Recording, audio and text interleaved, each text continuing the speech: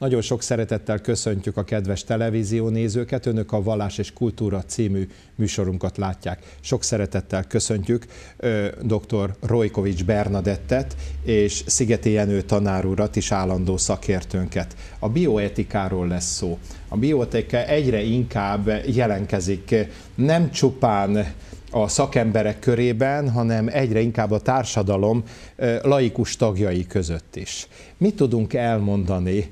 Miért új ez a bioetika? De nyilván, mint szakember azt tudja mondani, hogy ez nem új. De mégis számunkra, a hétköznapi emberek számára, akik nem vagyunk szakemberek, valamiért mégis új. Nagyon sok újdonság van a bioetika terén, tehát ilyen szempontból tényleg új. De a bioetika már a múlt században meghonosult. Potter onkológus orvos vezette be ezt a fogalmat, hogy bioetika. Uh-huh. A bioetika tulajdonképpen az élettel összefüggő minden etikai kérdést. Bios, ethos. Bios és ethos, uh-huh. igen. De ő ezt a fogalmat nem csak az, or- főleg orvosok kerülnek kapcsolatban ilyen kérdésekkel. A betegek, a gyengébbek, az élet-halál kérdése inkább az egészségügyet érinti, tehát épp ezért az egészségügyben merült fel először ez a kérdés, hogy bioetika. Potter kiterjesztette ezt a fogalmat, és a környezetet is belevonta a bioetika tárgykörében. Mivel, hogy ezen a világon élünk, tehát a környezet, a környezetszennyezés, ez mind beletartozik a bioetika vizsgálódási tárgyai közé. Szóval elmegyünk vásárolni, és meglátjuk egy meglátunk egy árut, amire rá van írva, hogy bio, bioalma, akkor feltételezhetjük, hogy ezt nem a hagyományos módszerrel termesztették, nem kapott semmilyen kemikáliát, hanem természetes módon éred be, és minden, minden egyéb betegséget természetes módon kezeltek, úgyhogy nem kell féljünk attól, hogy permetes gyümölcsöt eszünk, ugye? Bár, bár igaz lenne. Igen. Sokszor. Igen, inkább feltételezzük, hogy így ez van. így igaz. Igen. igen. Nagyon sokszor a mindennapi életben találkozunk ezzel a fogalommal, hogy környezetszennyeződés, stb. stb. És sokszor azt gondoljuk, ez a szakembereknek a dolga. Holott a bioszférának mi vagyunk a lakói. Miértünk van a bioszféra, és mi vagyunk a bioszféráért. A bioszféra alkotói, alakítói mi vagyunk. Isten megteremtette egy bioszférát, és azt mi rongáljuk. Sőt, nagyon érdekes a teremtésnél azt mondta, hogy őrizzed és míveljed, szolgáljad, szó szerint talán, ha Hébert még mással akarnám lefordítani. Őrizzed és szolgáljad ezt a földet, és ugye? És már itt van a bioetika rögtön. És érdekes, ha már itt tartunk a teremtés történetnél, ezt hadd mondjuk, hogy itt az és köti össze a VAV kopula, ahogy szokták ezt a Héberben mondani, és a VAV két egyenrangot köt össze mindig a Héber nyelvben, nem két különbözőt. És valahol itt van a művelésnek és az őrizésnek, a művelésnek és a szolgálatnak a kettőssége. És ez az, amit, amit tulajdonképpen a bioetika célul maga elé tűz. Bernadett, hogy látod orvosi szempontból? A bioetika mennyire járja át a hétköznapjainkat, a nem szakemberekét. Ugye elég sok minden ismeretünk van, de nyilván, nyilván nem tudunk mindent ezzel kapcsolatban. Mi azok a legfontosabb mérföldkövek a bioetikánál, amely nélkülözhetetlen, hogy a hétköznapi ember is ne vegyen róla tudomást? Én először az egészségügyel kapcsolatos bioetikai kérdéseket szeretném ez is az életünk része. Mert annyira az életünk része, az egészségügyi szakembereké, az orvosé, az a mindennapjához hozzátartozik. A betegség pedig, amíg az ember fiatal, addig nem is gondol rá, hogy lehet egyszer. Úgy gondoljuk, hogy mi sosem leszünk betegek. Igen. Persze, hogy a nagyanyám beteg, meg elmegyek a kórházba, meglátogatom, de én sosem leszek beteg.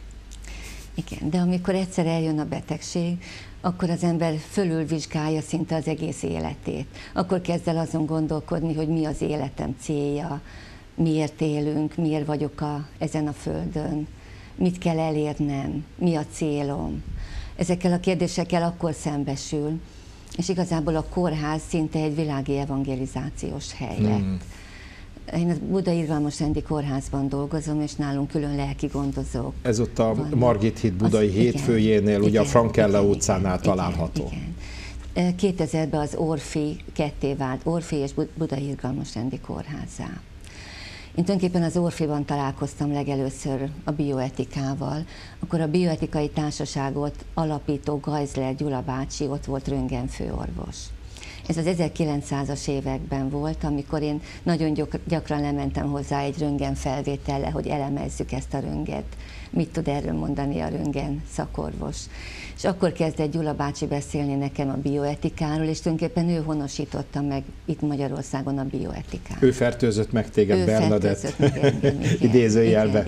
Sőt, én a Gyula bácsit nagyon jól ismertem, a Andrási úti, akkor még népköztársaság útja volt, összejövetelein többször ott voltam, sok, sok cikket is írtam a folyóiratban, nem a bioetikai szemlébe, hanem az ő lapjába, az ökumenébe, és Gajzer Gyula bácsi egy csodálatos ember volt. És a Gyula bácsitól én egy valamit tanultam, és az ő emlékéről is, ha emlékezünk, ezt feltétlenül szeretném közhírét tenni. Gyula bácsi mindig azt, azt mondta, hogy egy beteg azt hiszi, hogy az orvos gyógyítja meg. Ez tévedés.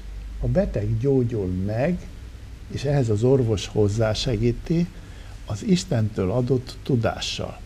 De hogyha a beteg nem az Istentől adott törvényszerűségek szerint él, akkor maga alatt vágja a fát.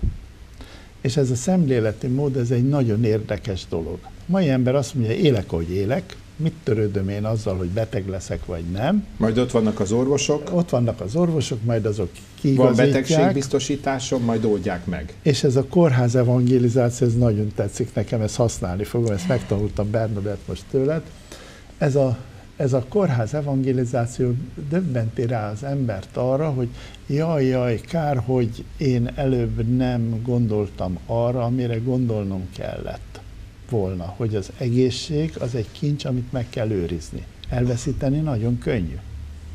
De ezt is művelni, megőrizni kell, ahogy beszéltünk róla, nem? Igen.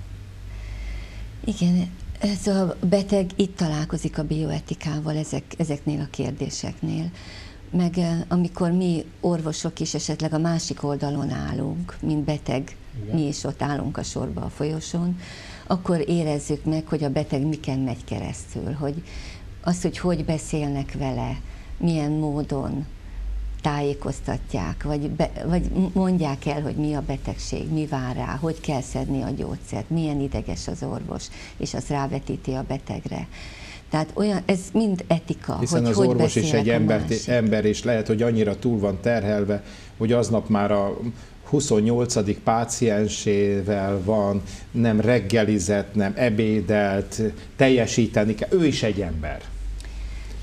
Igen, ezt érzi az orvos, hogy ő is egy ember, és néha túlfeszített, de ilyenkor mindig arra gondolok én legalábbis, hogy én is állhatok a másik oldalon. És bármikor. És akkor nekem ez hogy esne. Hát Így a beteg van. ezért várt, hogy ezt a vizitet megbeszéltem már hónapokkal ezelőtt, én pedig nem rázhatom le, és nem sietethetem, hogy most már menjen ki, mert jön a másik beteg. Hm. Szóval ez is az etika része. Nagyon érdekes. Korábbiakban az orvostudomány az valahogy egyben látta az embert. Ma meg most már darabjaiban látja. Ugye orfül gégészet. Na de hát aki ért a fülhöz, az nem biztos, hogy ért a gégészethez. Lehet, hogy az elnevezés egy közös, de ma már a személyzeten belül is ö, olyan ö, kifinomult módszerek vannak, hogy az egyik ehhez ért, a másik ahhoz, az egyik az irishez, a másik a retinához, a harmadik műteni tudja, a negyedik bevarja, az ötödik pedig utógondozza. Szóval valahogy úgy az ember úgy szétesett alkotó elemeire rendkívül látványos, mert az orvos tényleg ahhoz nagyon ért, amit csinál, viszont valahogy úgy veszem észre, hogy az egész ember az elveszett.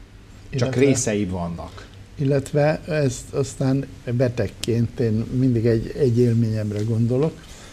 Én veseköves vagyok, mert a urétterem rosszul van bekötve, mondjam, vízvezeték szerelő nyelven, hogy érthető legyen. És ezért követ termel, kálciumoxalátos követ termel a vesém. Hál' Istennek most már hónap, évek óta nem, de termelt a vesém. És akkor tudom, először, mikor a szondás módszer bejött, hogy szondával kiveszik, akkor a következő volt. Betoltak a vizsgálóba, megnézték ultrahanggal, hol a kő, megrajzolták a hasamon, a hátamon, pontosan, hogy hol kell behatolni a szondával, filctollal. Pucéran ott feküdtem, letakartak egy lepedővel, és kitoltak a folyosóra, ahol a népek jártak. És egy negyed órát ott felejtettek, mert még a műtő nem volt előkészítve. És ebben a helyzetben átéltem, hogy én tulajdonképpen egy, egy munkadarab, munkadarab vagy. vagyok, és nem pedig ember. És a bioetikának, ahogy én ismerem a társaság életét, meg az egész bioetikai gondolkodást, az lenne a lényege, hogy mivel az embernek kell meggyógyulni, hogy mondtam először, az ember ember maradjon. És bizony tudom, az én sógornőm is reumatológus, tudom, Székely Mária, ismerés biztos. Igen tudom azt, hogy milyen nehéz egy orvosnak megmaradni, hogy úgy, hogy embereket lásson, és ne pedig munkadarabokat az egyes betegekbe. Szóval a bioetika nem csak a, az orvosokra vonatkozik, hanem a betegekre is vonatkozik, a kölcsönös megértés. Mert a szemléletre? Egy gyógyulás az együttműködés. Ha a beteg nem együttműködő, akkor nem lesz gyógyulás. Nem így van? Jól látom? Igen.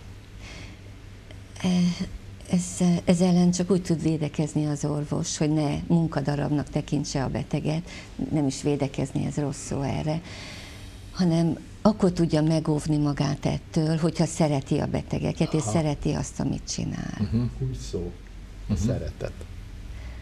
Különben meg nincs értelme, mert különben talán még rosszat is Rutinná válik. Igen. Ugye? Akkor csak Igen. iparos, mondhatjuk. Akkor iparos, és csalódik a beteg. Tehát nagyon-nagyon fontos, hogy, hogy szeresse a beteget, meg azt, amit Szakmát. csinál a szakmáját. És még ahhoz szeretnék hozzáfűzni valamit, hogy teljesen igaz, és én is így látom, hogy nagyon specializálódik. Nem csak az orvosi szakma, lassan már minden szakma. Minden. És ennek az oka azért mégiscsak egy fejlődés, a tudomány fejlődése. Mert már olyan szinten van a tudomány, az elméleti tudomány is, hogy szinte az ember önmaga egyedül már nem képes az egészet követni, tehát kénytelen specializálódni. Ennek a veszélye az, hogy lassan már a szakorvosok sem értik pontosan egymást. Tehát például nem értjük egy kardiológusnak a használt rövidítései, de mi is használunk rövidítései. Amit meg a kardiológus amit a kardiológus nem ért. Tehát én most már nagyon kerülöm ezeket a rövidítéseket, de vannak olyan, tehát olyan szaknyelvek, amit már nagyon nehéz megérteni, ahhoz az embernek mindig folyamatosan képezni kell magát, amit meg is teszünk, de azt a szintet nem tudjuk elérni, mint az a szakorvos, aki ezzel foglalkozik.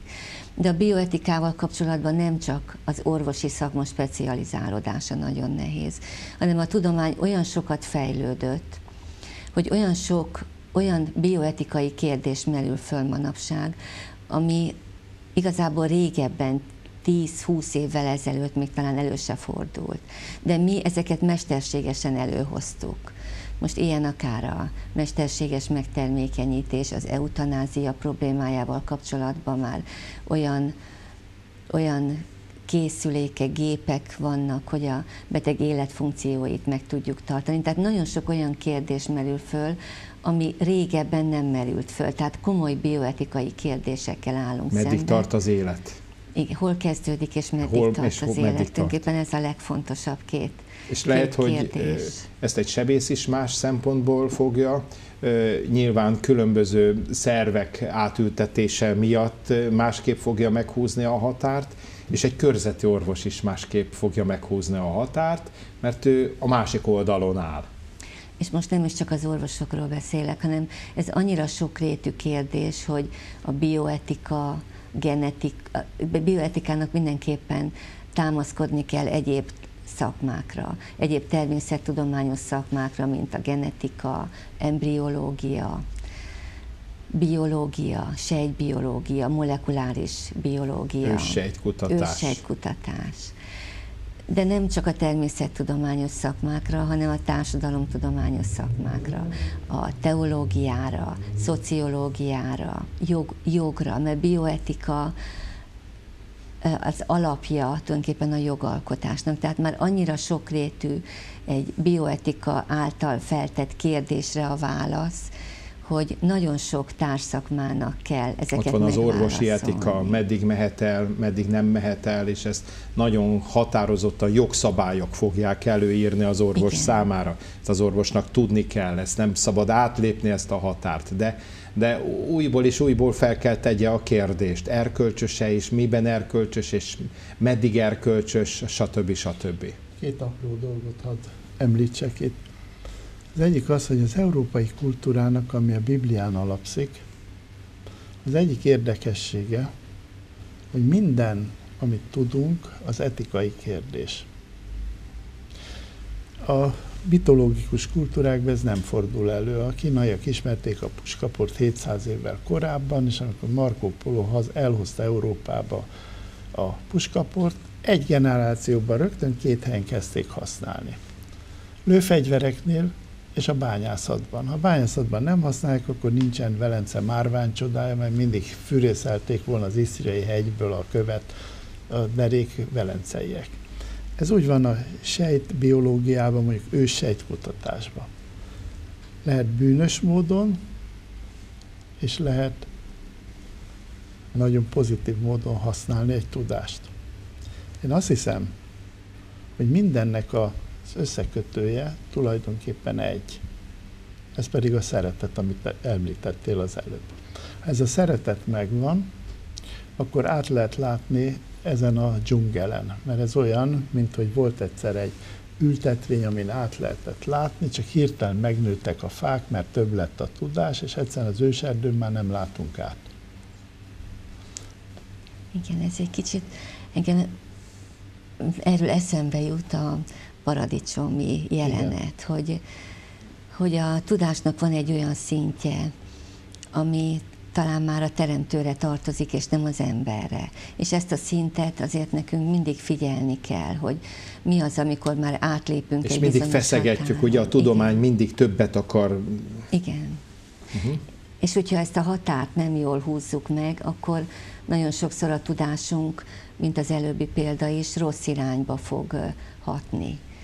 Tehát, hogyha nem hatja át a szeretet, és nem támaszkodunk a Ha Bibliára, önös lesz, vagy igen. önző lesz, azért, hogy én legyek a legokosabb, hogy én legyek a legnagyobb név a szakmában, de elfelejtem magát az embert, akkor megkérdőjelezhető a tudás is, hogy egyáltalán mit ér. Vagy a tudást a hatalom szolgálatába állítom. Az meg Én már aztán hatalmam abszolút. legyen a másik ember felett. És ezért nagyon érdekes, ez a 19. században elkezdődött, akkor 19. század tele van orvosregényekkel. Az orvos úgy jelenik meg a 19. században, mint a nagy mágus, aki mindent tud és minden élettel kapcsolatos. De lehet, hogy abban az időben tényleg mindent tudott ahhoz Biztos képest az átlag emberhez. Lehet, Biztos hogy ez nem is volt. rossz, ugye? Én nem tennék se pozitív, se negatív előjelet, csak egy tényt közlök. És hogyha ez az orvost, aki tud, és csodákra képes, mert csodákra képes egy orvos, egy egyszerű betegnek csoda az, hogy mit tudom én, a gerincemmel probléma van, és egy kezelés milyen nagyszerűen rendbe hozza, ez csoda. Erre a csodákra képes, akkor az ember mindig feltételezi, hogy hát ugye ez egy nagyszerű ember, de hogyha a szeretet hiányzik ebből a csodatevőből, akkor baj van. Hm. Itt a... Bernadett, hogy érzed, merre fog a bioetika fejlődni?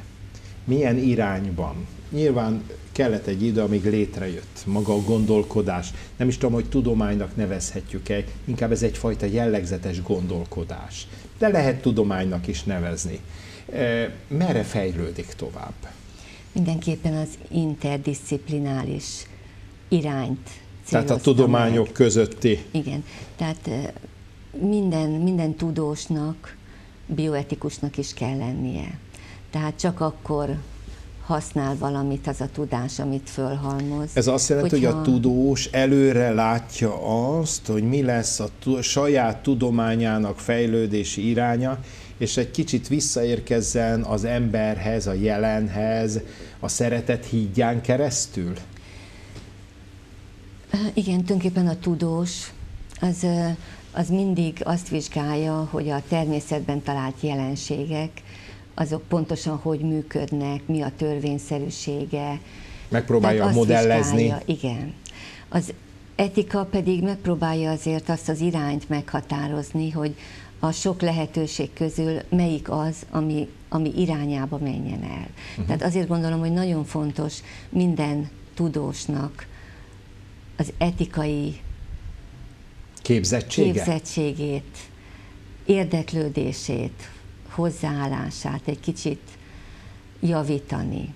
Tehát ezért nekünk az lenne a célunk a bioetikai társaságban, hogy, hogy ezeket a tudósokat, pont azért szerveztük most a konferenciánkat úgy, hogy, hogy jogtudós, teológus, orvos, mindenki részt vegyen, és mindenki ugyanarról a témáról beszélt, a család és hivat, szociológus, család és hivatásról.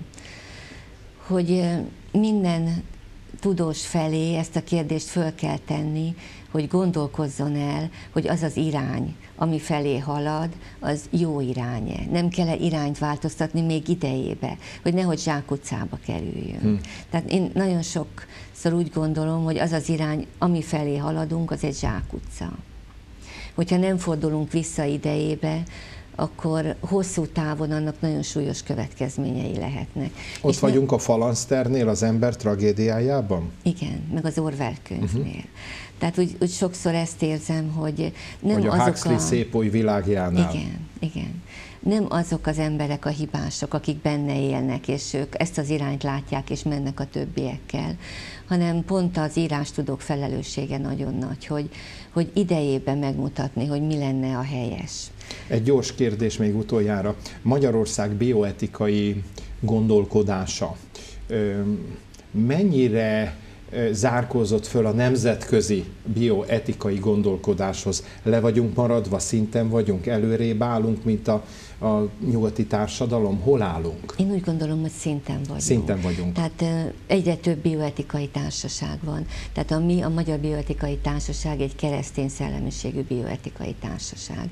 Tehát pont azért ilyen sokrétű a meghívott előadók, publikálóknak a a szakképesítése, de nagyon sok egyéb bioetikát oktató munkacsoport van, amiben mi is integrálódunk, mert mindenképpen az lenne a helyes, hogyha mondjuk egy nem keresztény szellemiségű bioetikus által fölvetett kérdésre az ő válaszán mi is gondolkozzunk el, és mi találjunk, találjuk meg a keresztény szellemiségű választ arra a bioetikai problémára. Uh-huh. Szóval a bioetika az nem kíván szakkérdésbe bele ö, kontárkodni, úgymond, de állandó gondolkodásra készteti a tudóst, hogy hol van az a határ, ahol még az emberi humanizmus és az emberi értékek irányába tett lépések megtehetők, és hol vannak, amelyik már tilalmazott. Igen, tökéletesen így mondhatjuk, függetlenül attól, hogy valaki hívő vagy nem hívő. Rojkovics Bernadettnek nagyon szépen köszönjük a jelenlétét, Szigeti tanár úrnak a szakértését, elköszöntünk önöktől, önök a Vallás és Kultúra című műsorunkat látták. Isten áldja önöket, viszont látásra, viszont hallásra.